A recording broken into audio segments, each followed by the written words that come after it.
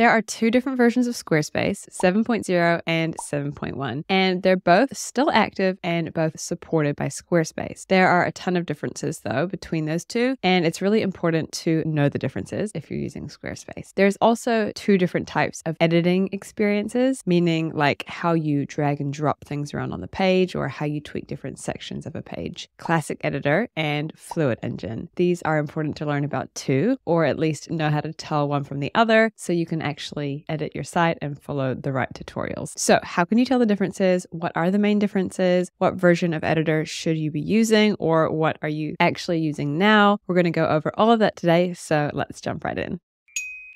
So let's go ahead and start by talking about the differences between Squarespace version 7.0 and 7.1.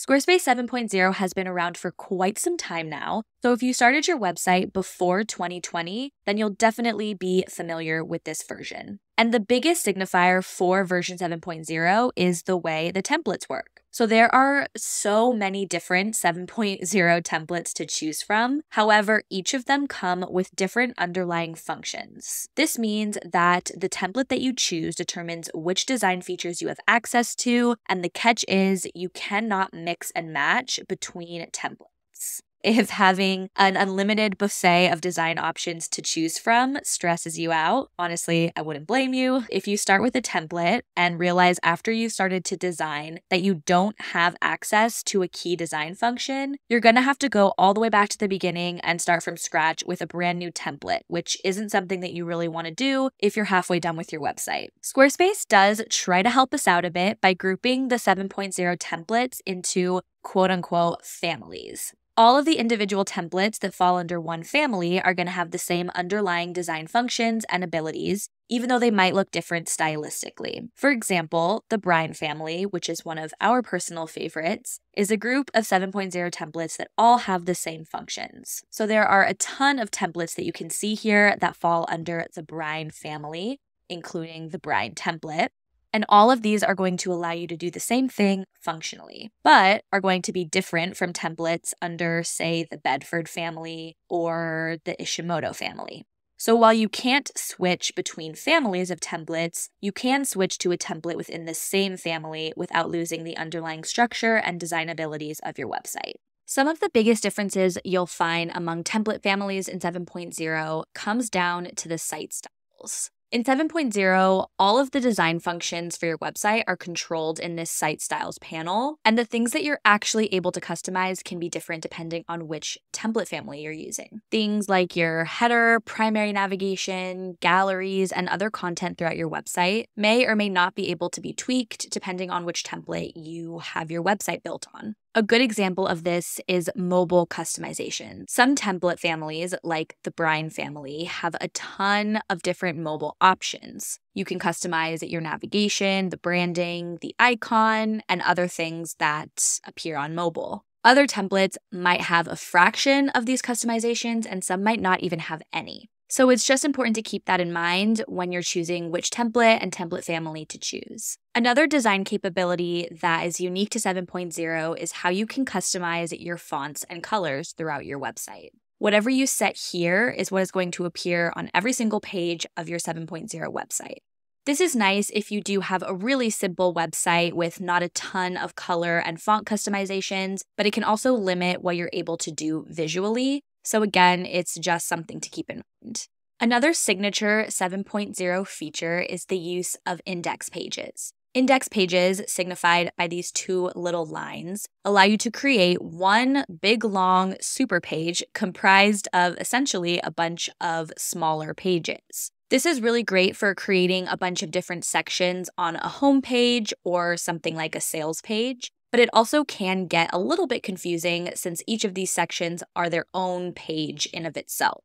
When you click a section under an index page, it'll take you directly to that page on the bigger index page. And the settings for that page or section are going to be the same as any page on your website. This is something that is super unique to 7.0 and also something that's not available in 7.1, which we will go into next. Now let's get into 7.1. So Squarespace 7.1 is the newest version of Squarespace, and although that 0.1 might hint at a slight upgrade, it's actually a pretty big change from 7.0. Mainly because when it comes to Squarespace 7.1, all templates are created equal, at least functionally. The only difference between these templates is going to be the initial stylistic choices, like the colors, the fonts, the images, etc. And if I forgot to mention this before, all of those things are completely customizable. So this means that you no longer need to worry about choosing the exact right template. You don't have to stress about it because every single 7.1 template has the ability to use the same design functions and elements. Now, unfortunately, there are a couple of design features that Squarespace hasn't yet carried over from 7.0. However, 7.1 is continuously being updated, so who's to say that these won't eventually make their way over? And plus, it seems that for each thing left back in 7.0, two new features have appeared in place. This includes the Fluid Engine Editor, which we'll get into more coming up next. The fact that there are no longer index pages in 7.1.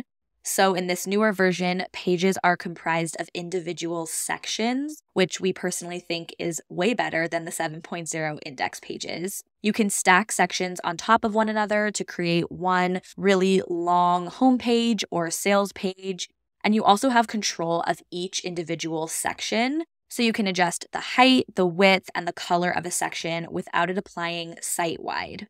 7.1 also has all new site style settings. In this version, you can create cohesive color palettes along with color themes to help you individually customize pages and sections throughout your website.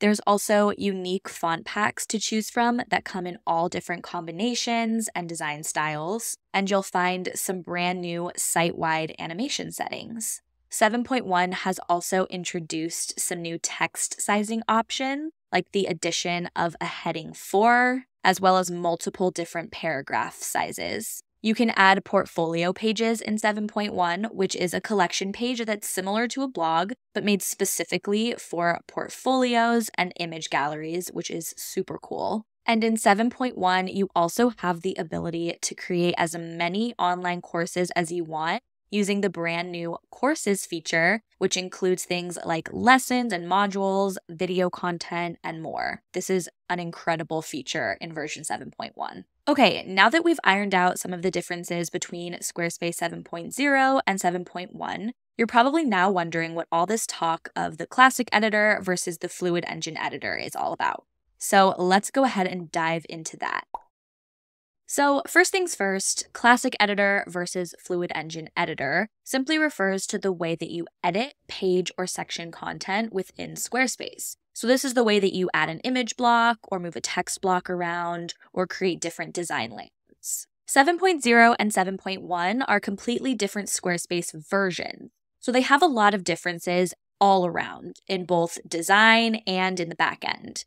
Classic Editor and the Fluid Engine Editor, while also completely different, only come down to actually editing the content and the layout of your website. So, what is the Classic Editor? It's just that the classic, aka older way of editing your content in Squarespace. This is the editing experience that all 7.0 websites use. So if you have a website on Squarespace 7.0, you are probably very familiar with this classic editor. There are also some ways in which you can still, for now, access the classic editor on a Squarespace 7.1 website. For example, if you upgrade your website from 7.0 to 7.1, the sections will auto convert into Classic Editor. If you're using a 7.1 website that was created prior to the Fluid Engine being released, and you can even still add a Classic Editor section while building in 7.1. You'll also notice that no matter which version of Squarespace you have, all blog posts are going to still be using the Classic Editor, at least for now. Hopefully, this is going to be upgraded soon. The Fluid Engine Editor, on the other hand, is the new editing experience just for 7.1 website. It's much more flexible than the classic editor, hence the name Fluid. Again, Fluid Engine is only for 7.1 websites, so you cannot access this editor on a 7.0 website. And when you start a new website with Squarespace and create new pages, they're automatically going to be using the 7.1 Fluid Engine editor. It's important to note here that Fluid Engine is constantly improving and being added to, whereas the classic editor isn't going to get any of the new features that are added to Fluid Engine. So now let's talk about the main differences between the two editors. I could honestly talk forever about the individual details that are unique to Fluid Engine, like block alignment, overlapping blocks forward or backward, individual section settings like row count and unique dividers. I could go on and on. So, if you want to explore all of those individual Fluid Engine features, the best thing to do would be to check out one of our other posts or walkthrough videos specifically on Fluid Engine, or to try out Fluid Engine yourself and play around with all that the editor has to offer. For now, we'll just go through the most prominent differences between Fluid Engine and the classic editor. The first and probably biggest and most noticeable difference between the two is this Fluid Engine grid based layout. If you're familiar with using the classic editor, the first thing you're going to notice when switching over is the Fluid Engine's signature flexible grid that allows you to place blocks anywhere in a section. This means that you can go ahead and say goodbye to spacer blocks. In the classic editor, spacer blocks were the only way that you could create space between content, but with the Fluid Engine editor, you can move blocks around freely to create unique layouts, and you can even overlap blocks without the use of any spacers or coding. Another change is that while the same type of essential blocks are still available on both the classic editor and Fluid Engine, except, of course, the spacer block, the new Fluid Engine editor offers a variety of brand new block settings to help you customize your content even further. There's also quite a few new section settings that come with Fluid Engine, which allow you to further customize the look and style of the individual sections on a page. To access your section settings, make sure that you're hovering over the section you want to edit, and then choose Edit Section in the top right corner. Now, this is all just a little snapshot of what is currently available for blocks and sections within the Fluid Engine editor, so be sure to check out your own settings and play around with things yourself to get familiar with all there is to edit. And of course, after you're done playing around and you love what you've done, be sure to save all of your changes. Another massive difference between the classic editor and the Fluid Engine editor is that designing for mobile view is completely separate from desktop view when you're in Fluid Engine. This is a huge advantage because it allows you to have full control over your site's mobile design. Squarespace's classic editor automatically optimizes your desktop design to fit the mobile screen.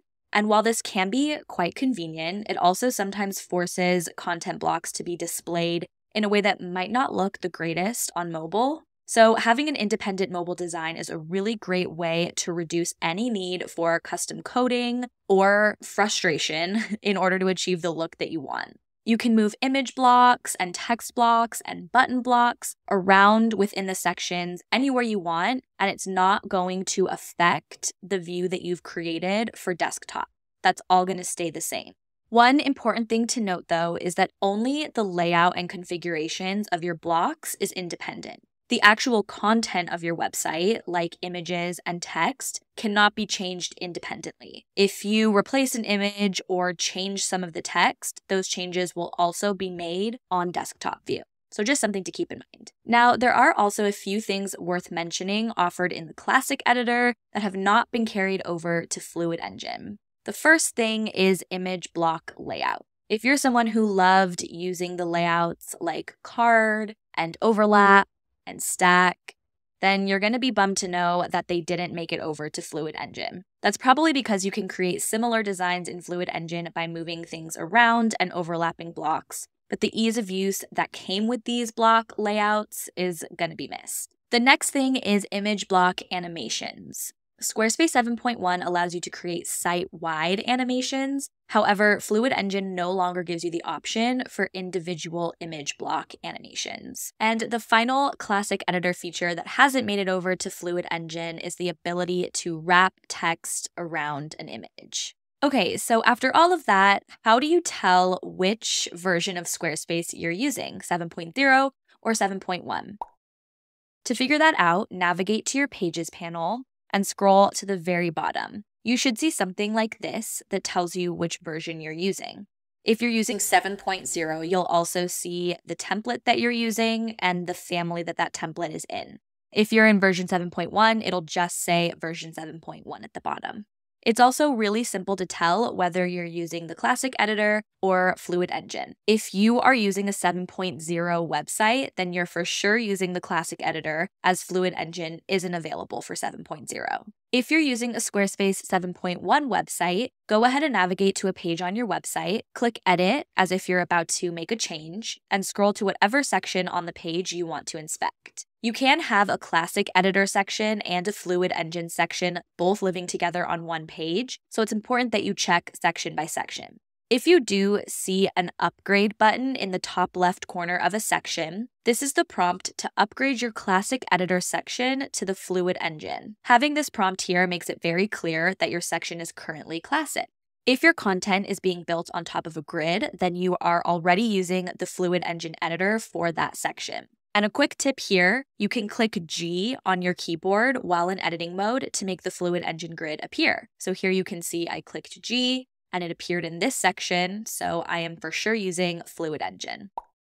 If you currently have a website built in Squarespace 7.0 and would like to go ahead and upgrade to 7.1, then you're in luck because Squarespace recently introduced a magic upgrade button that allows you to do just that. We do have a full post and video tutorial about how to complete this upgrade process. So if you're interested in doing this, be sure to go check that out because it will walk you through in much greater detail. That will be linked below this video as well as in the blog post. But just as a quick little how to, First, you're going to want to check that your website is compatible with the upgrade. So right now, the tool is only available to those using a Brine or a Bedford family template as a base. So just like we did before, we'll navigate to our Pages panel, scroll to the bottom, and check our template family right here. We're using the Brine family, so we're all good to go. Next, you'll want to be sure to back up your website just in case something goes terribly wrong during the transfer. And then when you're ready to go, you're going to use the upgrade migration tool by going to Website,